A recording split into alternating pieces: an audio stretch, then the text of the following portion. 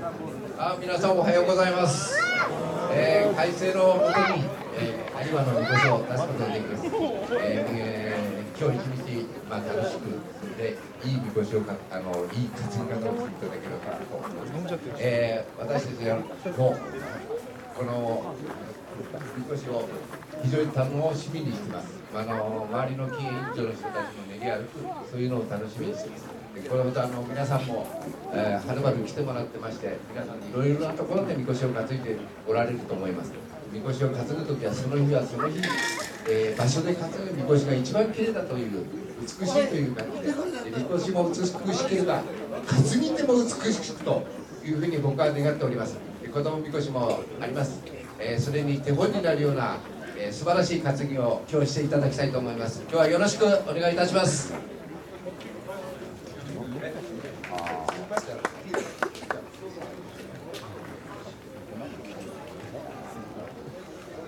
皆さんおはようございます。県議会議員の持田でございます。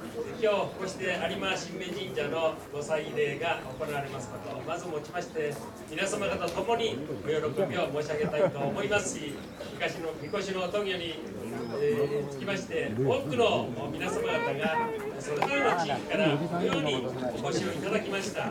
氏子の一人としてその心からご感謝を申し上げさせていただきたいと思います。本当にまさに秋であります、えー、皆様方のそれぞれお一人お一人の中に素晴らしいまた実りがございますことをご記念させていただきたいと思いますし本日一日が無事にこの有馬地域を鷺沼地域農業ができますこともお願いもさせていただきながらそしてあと4年と9ヶ月後には東京オリンピック・パラリンピックがやってまいります。その上昇機運の中でさらに一層地域や皆様方がご発展ご活躍をされます。ことをご記念させてい。ただいて今日の一日をどうぞ無事に見越しの峠にご協力いただきますことをお願いさせていただきながら、えー、ご挨拶に返させていただきます。ありがとうございます。皆さんおはようございます。山際大志郎でございます、えー、最後まで怪我なく仲良く元気よくよろしくお願いいたします。おはようございます。市議会議員の浅野文也でございます。本日のご祭礼誠におめでとうございます。ご尽力いただきました。関係各位並びに遠くからもお駆けつけいただきました。皆様に心より感謝を申し上げます。ふるさととしてこのような祭りが脈々と受け継がれることを心より喜ぶところでございます。本日一日お怪我のないように素晴らしいご祭礼となりますことをこれより記念いたします。おめでとうございます。えー、じゃあそれではあの宮田市に際しましてあのみこし会会長よりあの乾杯の温度とありますのでよろしくお願いいたしたいと思います？えー、皆さんおはようございます。えー、本日は有馬のお祭りにですね大勢お集まりをいただきまして誠にありがとうございます。えー、今日一日皆さんと一緒に頑張って担いでいきたいと思います。よろしくお願いいたします。えー、それではあのおみきが配られていると思うんですけれどもここで乾杯したいと思います。乾杯。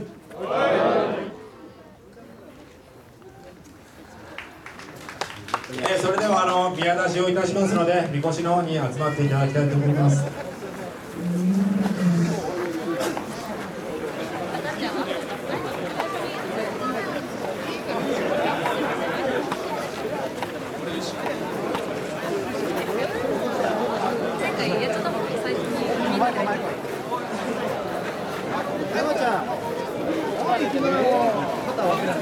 ろしくお願いします。